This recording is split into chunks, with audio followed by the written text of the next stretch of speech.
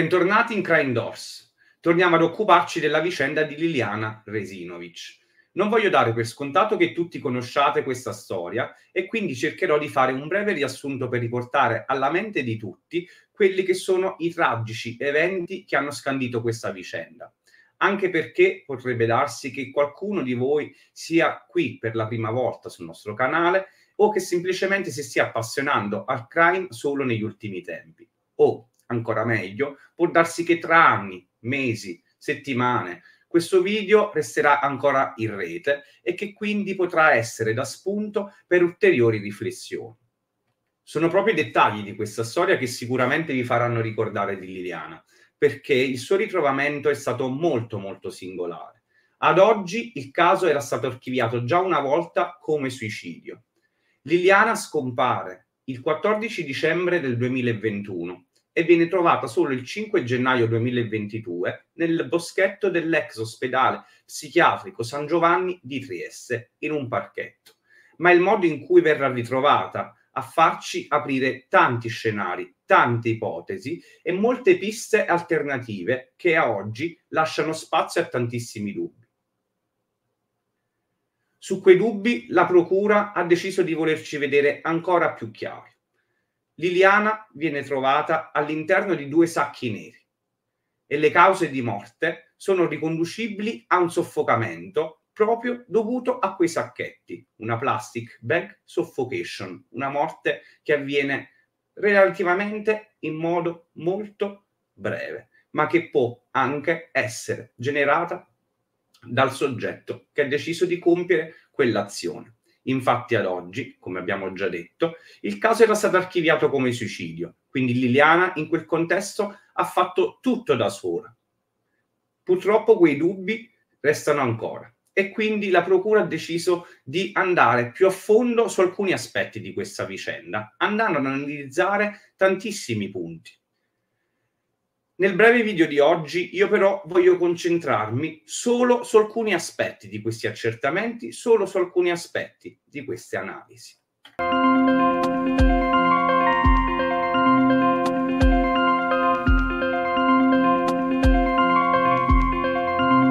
Quello che fa nascere tantissimi dubbi sono le valutazioni fatte in merito al cadavere di Liliana l'autopsia, secondo alcuni, non sarebbe stata condotta nel migliore dei modi e ci sarebbero gravi mancanze, gravi errori, punto di valutazione, sugli aspetti che riguardano le trasformazioni che il cadavere avrebbe subito e su potenzialmente colpi che non sono stati evidenziati all'interno di serie autoptica. Una delle prime cose che è stata contestata all'autopsia di Liliana Resinovic è la mancanza del rilevamento della temperatura corporea che è uno dei parametri che solitamente viene stimato nel momento del ritrovamento.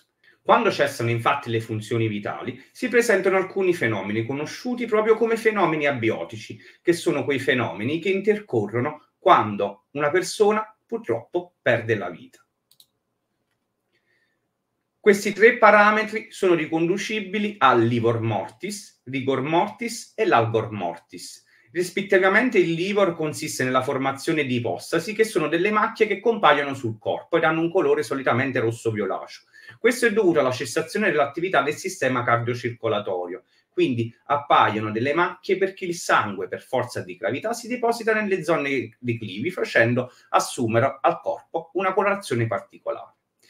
Il rigor mortis invece consiste nel fenomeno della rigidità cadaverica, e poi abbiamo l'algor mortis, che invece è il fenomeno del raffreddamento del cadavere ed è anch'esso connesso alla fine delle funzioni termodinamiche, cinetiche del sangue che solitamente scorre all'interno del corpo. Il decremento della temperatura corporea non va all'infinito, infatti abbiamo un limite e questo limite arriva quando il cadavere raggiunge la temperatura ambiente, ovvero la temperatura circostante. E in più dobbiamo sottolineare che questo decremento di temperatura non è lineare. Infatti la temperatura decrementa pian piano e in modo diverso in base alle ore che sono trascorse dalla morte. Tant'è vero che questo parametro ci permette di stimare qual è l'intervallo dalla morte fino al momento del rilevamento della temperatura.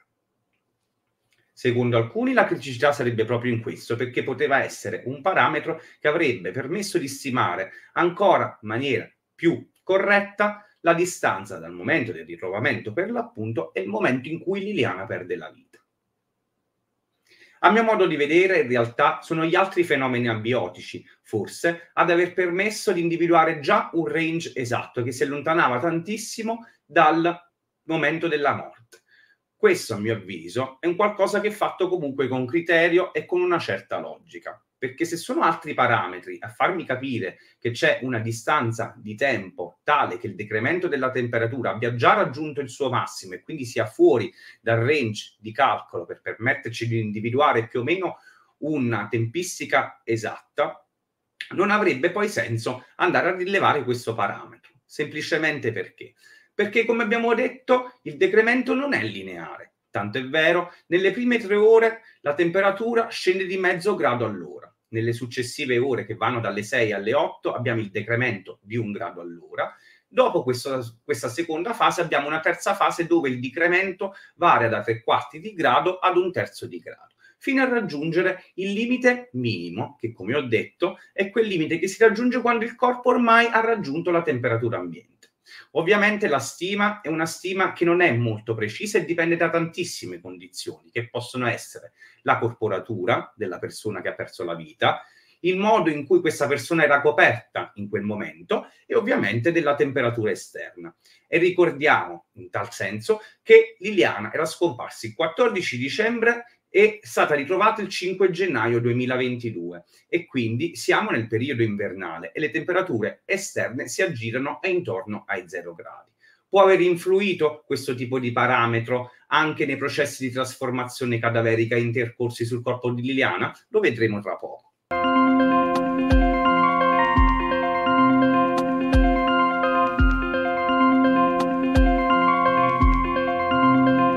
Subito dopo i fenomeni abiotici abbiamo un processo di decomposizione ordinario che dà vita poi a una trasformazione distruttiva che si succede in quattro fasi. Abbiamo uno stato cromatico dove il corpo comincia ad avere una colorazione verde e compare dopo le 18-36 ore uno stadio infisimatoso che è quello dove c'è la creazione dei gas e quindi questo stadio l'abbiamo solitamente dopo 3-6 giorni dalla morte. Abbiamo lo stadio collegativo che è la perdita dei tessuti molli superficiali e infine la scheletrizzazione. C'è da dire che il corpo di Liliana, secondo chi ha condotto quell'autopsia, non era neanche arrivato a questo tipo di stadio e che quindi potenzialmente la morte è da ricondursi neanche a 60 ore prima del ritrovamento. Questo è lo scenario che si trovano davanti le persone che hanno analizzato il corpo di Liliana e per questo nasce uno scenario molto suggestivo che potrebbe sembrare addirittura fantasioso, che è quello che Liliana è stata uccisa congelata e poi occultata nei due sacchi neri e portata nell'ex boschetto dell'ospedale San Giovanni di Trieste. Per andare a verificare questo tipo di evenienza, in realtà non è stata fatta nessuna analisi. Questo tipo di dato, questo tipo di informazione non era presente all'epoca, anche se era stata scartata a priori comunque l'ipotesi del congelamento. Quindi cosa è stato deciso di fare? Di andare ad analizzare proprio a livello biochimico la presenza di indicatori che potessero dare un dato certo su questo tipo di elemento. Tanto è vero che è stato richiesto un esame molto specifico su degli enzimi che si trovano all'interno del tessuto muscolare, che vengono rilasciati dai mitocondri nel caso in cui un tessuto sia prima congelato e dopo scongelato, e questo rileverebbe appunto il processo di congelamento del corpo di Liliana se dovessimo trovare all'interno di quei tessuti conservati questo enzima in altissime quantità, vorrà dire che allora il corpo avrà davvero subito un processo di congelamento prima di essere occultato. E questo spiegherebbe quindi il processo di trasformazione che è andato molto a rilento ma questo processo di trasformazione lento potrebbe essere dovuto anche alla semplice temperatura esterna? I dati meteo che cosa ci dicono riguardo a quelle giornate? Quella temperatura potrebbe essere sufficiente per mimare un processo di congelamento avvenuto magari in un pozzetto, in un frigo con delle temperature bassissime? A questa domanda non abbiamo ancora delle risposte e quindi dovremo aspettare tutti i risultati di questo tipo di analisi. Personalmente penso che sia davvero suggestiva e fantasiosa un'ipotesi di, del genere e anche pericolosa, soprattutto conoscendo la vita di Liliana, che era una persona molto riservata, quindi si poteva arrivare facilmente a soggetto che poteva avere in custodia quel corpo in un determinato pozzetto, frigo o in qualsiasi luogo dove il corpo possa essere tenuto a delle temperature molto, molto basse.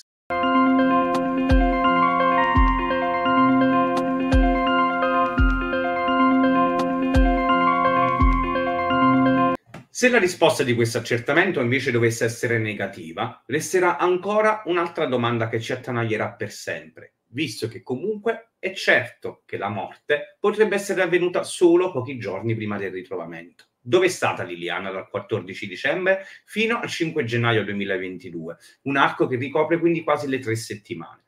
Questo sarà uno dei misteri più grandi da risolvere, quindi io spero che si possa arrivare ad una risposta in termini brevi, visto che ormai è da tantissimo tempo che si segue questo caso che è così intricato, così complicato, che ci ha divisi. Io personalmente ho sempre manifestato l'idea che Liliana la vita se la sia torta da sola ci siano tanti presupposti che possono farmelo pensare, sia a livello psicologico sia a livello pratico. Per quanto possa essere triste, lo scenario che è stato dapprima ipotizzato dalla Procura per me è ancora ampiamente percorribile, perché non sono ancora state scritte nere su bianco delle evidenze che attestino violenze sul corpo di Liliano. Si è parlato di macchie, tumefazioni che non mi sembrano essere state confermate in sede di prima autopsia con la resumazione del corpo di Liliana forse avremo ulteriori risposte anche su questo. Intanto io vi invito ancora a seguirci qui su Crane Doors e sono curiosissimo stavolta di sentire anche voi che cosa ne pensate. Quindi scrivete nei commenti e cercherò di rispondere a tutti. Quindi alla prossima.